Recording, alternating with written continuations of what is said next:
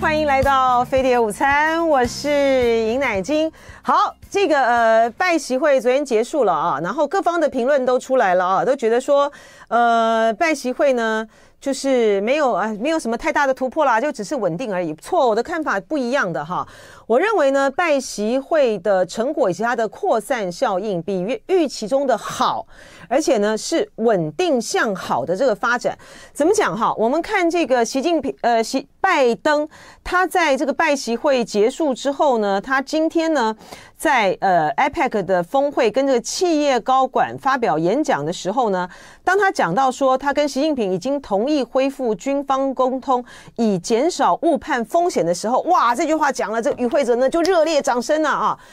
你就说全世界的这个企业呢，全世界的国家呢，都在看中美两大国的脸色，好，就是。当你们能够把你们的呃风险控管稳定下来的时候，是全世界呢最欢迎的讯息。所以说，这个呃它的稳定向好的气氛呢是向外扩散的啊。嗯，当这个呃，而且还有另外一个观察指标，就是说，到底呢拜习会啊，你重不重视这个拜习会？当然后呢，拜习会的成果是如何？看一个国家。的动向呢，你就最清楚了。那个就是日本哈，呃，日本呢，它就是在这种呃中美的这个气候这个之中呢，它就是非常担心呢，他会落队的一个人。如果说呢，中呃美方呢开始转向啊，跟这个中国呢要走向一个交往友好的这个路线的时候呢，这个呃日本呢一定是加倍贴上去的哈。当初这个 Nixon 基辛吉派这个 Nixon 到呃 Nixon 派基辛吉哈到中国去的时候呢，你看日本就很担心啊，就非常的这个担心呢，就很怕这个呃美国美国要跟中国呃转向之后呢，他会落队，所以他就赶快要跟这个中国就中国大陆呢就是建立呃外交关系啦，比这个美国呢早了那么多年哈，所以这次也是。当这个拜席会呢，就是已经开始再去进行这个沟通，然后要去安排拜席会的时候呢，日本呢就赶快呢巴巴着呢，就一定要促成，然后表达了这个期望，希望能够在。呃，APEC 的时候呢，能够跟习近平呢，岸田能够跟习近平见上一面啊，那果然是见到了啦哈，他就是在这个场边的这个会晤啊，所以说拜习会重不重要？当然重要哈，就是全世界呢都在看这两个国家的领导人的脸色啊，这是第一个。第二个呢，呃，这次拜习会的成果呢，呃，我也认为哈，我也认为不像这个很多的评论认为，就是说啊有限啦，只是什么错哈，它依然还是一个。我觉得对于中方来讲，它比预期中好，好对整个的中美关系来讲，它也是稳定向好的哈。呃，为什么呢？第一个，我们从拜习会的谈话的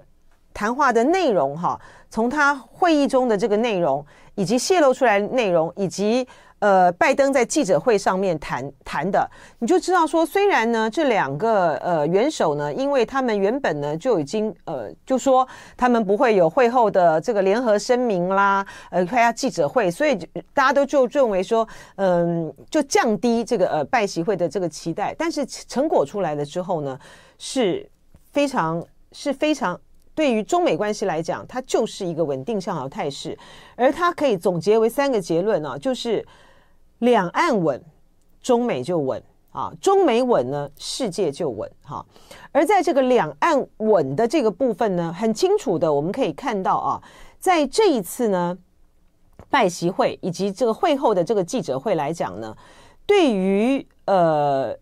中方来说，它最大的哈，它最大的收获呢。就是让这个拜登呢，从过去的战略清晰回到了这个战略模糊啊。拜登呢，他在呃上任之后呢，他大概起码四次啊，就提到如果说嗯大陆对台动武的话呢，呃美国啊，就是美国呢，男男女女会出兵捍卫台湾，他讲了起码四次哈。所以呢，他起码讲了这个四次，前一两次的时候呢，白宫的官员呢都还出来这个否认，到后来他们就不否认了哈，他们就不否认了。而拜登的这个表态呢，也让这个民进党政府呢就认为说呢，这个是呢，呃，一旦呢大陆呢如果说对台湾采取任何的这个军事的行动的话呢，呃，美国呢。呃，起码在这个拜登任内的话呢，就不会啊，就不会说只是现在呢打上这样子一个贺祖的策略呢，他会采取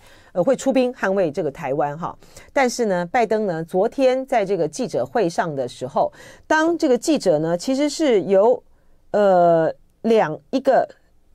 记者就问到说。北京对台动武的条件，一个是问北京干预台湾选举会有什么样的后果。他这次呢就不再讲，哈，他这次就不再讲说啊，如果这个大陆对呃中国对台湾这个动武的话呢，我们的美国的男男女女女呢会出兵捍卫台湾，他就不再讲了，他就只讲是又重申一个公中国政策啊，所以你就知道他回到这个战略模糊，这个是非常重要的哈。为什么他会回到这个战略模糊？我觉得就是跟这个呃，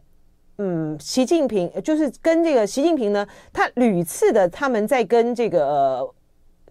跟这个美国谈话的时候，都一直强调，就是说台湾问题呢是中国呢是中国不可中美关系不可跨越的第一条红线。好，那你每次呢？那个美国呢，都觉得说，好像你中国都是说说而已啊。但是呢，从裴洛西来台之后呢，大陆的围台军演，然后到这个呃，蔡英文这一次到美国去访问，今年到美国去访问，然后赖清德呢到美国去访问，然后大陆连续的又是什么呃环台军演啊，这个军演啊，那个军演，就是你很清楚的让这个美国知道说。中国大陆在台湾的问题上面不是随便说说的，它会有，它是会有付诸行动。我跟你讲了多少次，这是不可跨越的这个红线，你不听是吧？那我就展示给你看。所以说呢，呃，习近平呢在谈话里面呢，他讲说，呃，他们从来没有什么二零二七啊，呃，二零三五啊，要对台湾这个动武动武的，这都是你们美国说的，我们没有这样讲。他只是他强调的是，大陆不会，大陆不会没有理由的啊，会是在这种以武力来去完成统一，好，这个是很重要的哈。